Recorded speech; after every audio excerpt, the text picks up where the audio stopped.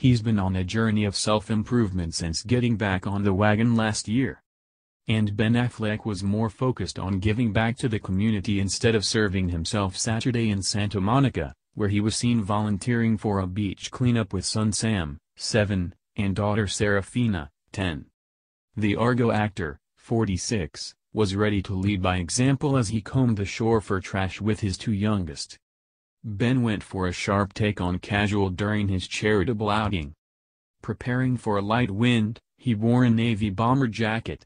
The actor ex of Jennifer Garner continued his look with a light blue shirt which he teamed with dark denim.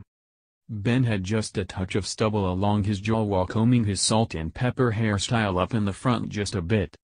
Making sure the sun stayed out of his eyes, he added a pair of aviator sunglasses making sure he didn't get grime on his hands. The Good Will Hunting actor, writer donned a pair of protective latex gloves as he scooped things into a big plastic bag.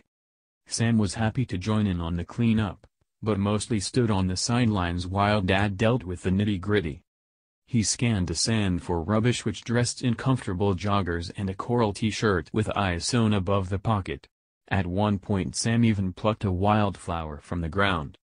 All the while, Seraphina stayed independent, spending her time with peers.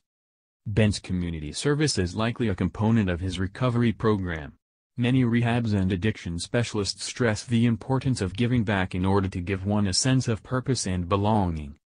Affleck and Garner also have an older daughter named Seraphina, from their 13-year union.